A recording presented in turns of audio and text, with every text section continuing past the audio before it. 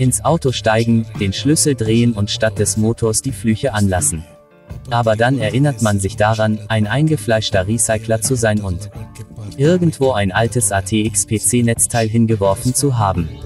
Es sollte ein Kinderspiel sein, es in ein leistungsstarkes 12 Volt Bleisäure-Autobatterieladegerät zu verwandeln. Punkt. Um eine ausreichende Spannung und Stromstärke zu erhalten, müssen Sie nur überprüfen, ob der integrierte Schaltkreis ein TL494 oder ein K7500 oder gleichwertig ist, und einen 13.000 Ohm Widerstand, möglicherweise recycelt, zwischen Pin 1 und Masse löten. Dadurch wird die Leerlaufspannung auf etwa gebracht 14,3 Volt, die bei Anschluss an eine Autobatterie etwa 2,2 Ampere liefern können. Um die Stromversorgung einzuschalten, muss eine Brücke zwischen dem grünen Kabel und einer Masse hergestellt werden. Um die Batterie anzuschließen, ändern Sie einfach ein paar Anschlüsse. Wenn alles gut geht, keine übermäßige Sulfatierung und keine mechanischen Probleme auftreten, dauert es bei einer mittelgroßen Autobatterie etwa 24 Stunden. Bis eine Spannung an den Polen von etwa 13,80 Volt erreicht ist, was der Spannung einer voll aufgeladenen Batterie entspricht Batterie. Das Nachladen muss an Orten mit ausreichender Belüftung erfolgen, da insbesondere in der Endphase des Ladens oder bei zu schneller Ladung. Die elektrolytische Spaltung des Wassers auftritt, wodurch Wasserstoff und Sauerstoff entstehen, die bei Konzentration von Wasserstoff in der Luft überschreitet 4%. Ich lehne jede Verantwortung für Schäden an Personen, Tieren und Dingen ab, die denen entstehen können, die das im Video gezeigte Verfahren nachahmen möchten, das nur zu Unterhaltungszwecken dient. Nachdem ich das ATX-Netzteil demontiert habe, identifiziere ich die PIN Nummer 1 des integrierten Schaltkreises, auf die der Widerstand gelötet werden soll. Ich bereite das elektrische Kabel vor, das zwischen Widerstand und Masse angeschlossen wird. Löten Sie das elektrische Kabel an eine freie Masse. Ich löte den Widerstand auf Pin 1 des ECs und achte darauf, ihn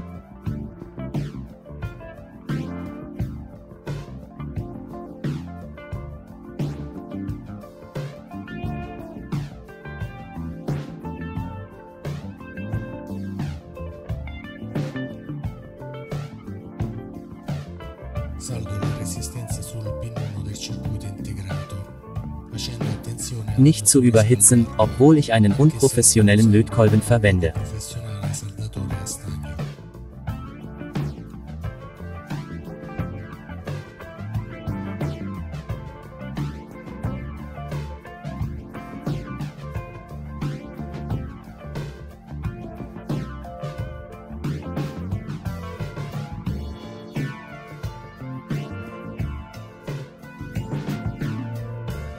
Hier ist der 13.000 Ohm Widerstand, der an Pin Nummer 1 des K7500 Chips gelötet ist.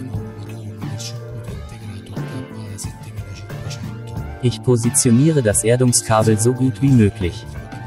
Ich balanciere den elektrischen Erdungsdraht auf den Widerstand aus, der im Wesentlichen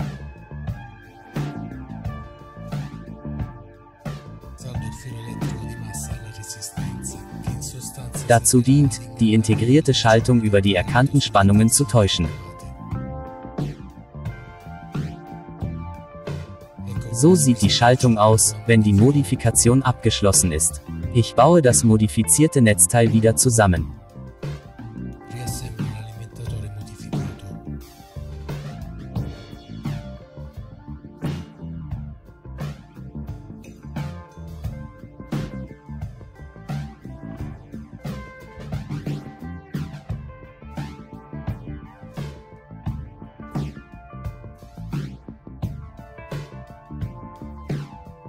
Ich schließe einen modifizierten Molex-Stecker an, aus dem die elektrischen Kabel zum Anschließen der Batterie herauskommen.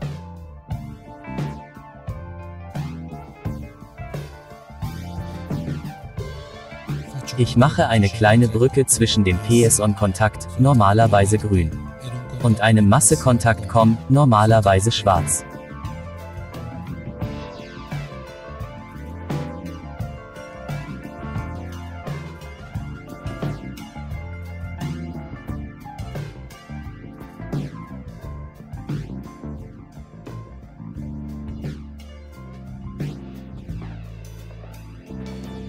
Ich repariere die Kabel.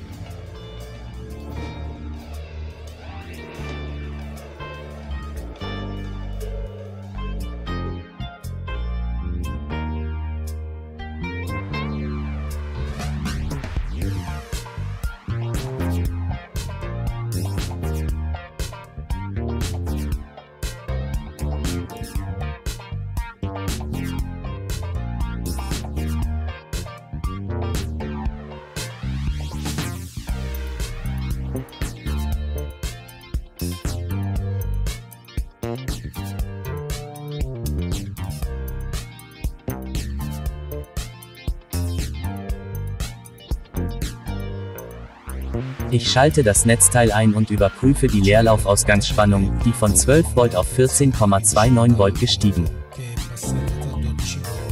ist, was die optimale Spannung zum Aufladen von Bleisäurebatterien ist. Wenn ich eine 55 Watt Autobirne als Last verwende, überprüfe ich, dass das Netzteil etwa 4,5 Ampere liefert. Der Einfachheit halber schließe ich die aufzuladende Batterie über die Autostartkabel an das modifizierte Netzteil an. Ich schalte das Netzteil ein und prüfe die Spannung an den Batteriepolen zu Beginn des Ladevorgangs.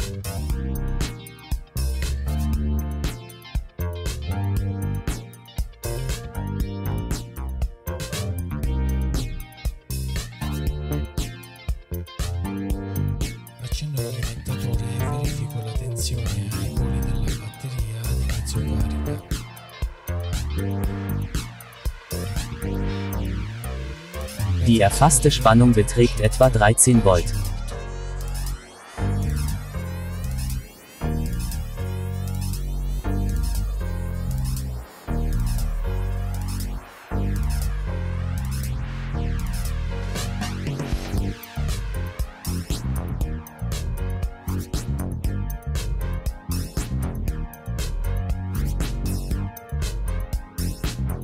Ich prüfe den Stromfluss zu Beginn des Ladevorgangs.